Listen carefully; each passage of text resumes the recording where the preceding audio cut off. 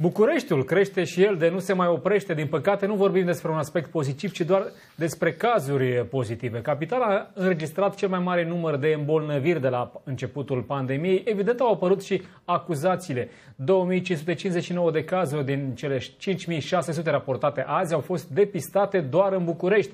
Este cel mai mare număr înregistrat într-un an și jumătate și este cu aproape 400 de cazuri peste vârful precedent. Această creștere masivă se reflectă și în rata de incidențe, care a ajuns la aproape 5 la mie. Pe zile, creșterea este mai mult o explozie. În urmă cu o săptămână, Bucureștiul avea 1000 de infectări.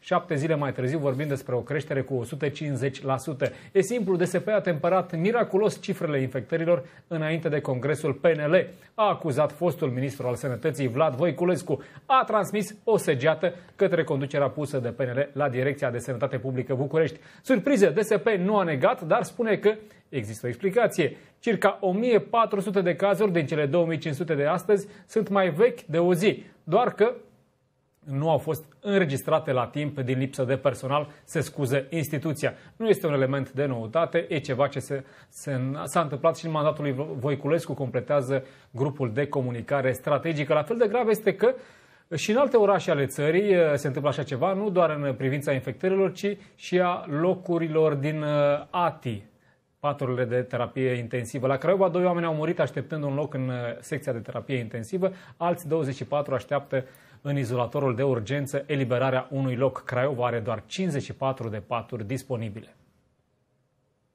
Nu este loc. Păi, ar sta în urgență dacă ar fi loc. Decese vor fi, pentru că pacienții aceștia sunt pacienți gravi, foarte gravi, adică nu degeaba ei sunt la spital, nu degeaba sunt cu suport ventilator, nu degeaba sunt internați și nu degeaba sunt internați în vederea transferului în terapie intensivă. Da, sâmbătă ne-a spus că nu are locul să-l bage la incubator și a zis că așteaptă să eliberează un loc și să-l bage acolo. Și n-a mai apucat să mai, să mai bage. Și a decedat.